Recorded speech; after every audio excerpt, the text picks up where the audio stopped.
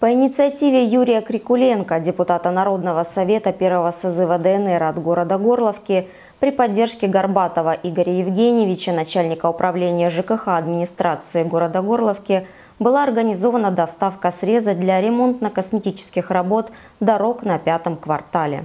Наконец-то на наш пятый квартал э, пришли дороги.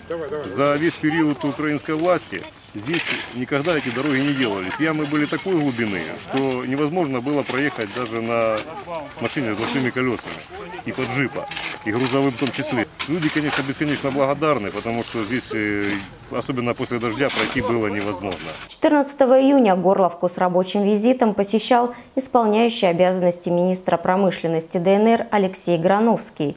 Одним из вопросов было возобновление работы машиностроительного завода имени Кирова.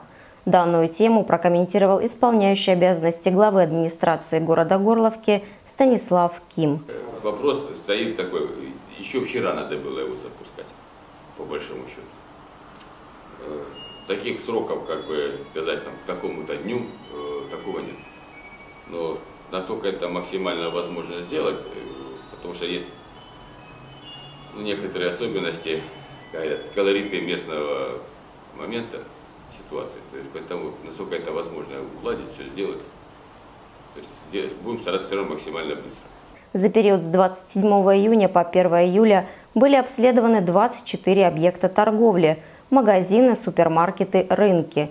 Мониторинг цен на социально значимые продукты питания, реализуемые в торговой сети города, показал, что за вышеуказанный период по сравнению с периодом с 21 по 24 июня на отдельные продукты питания цены понизились.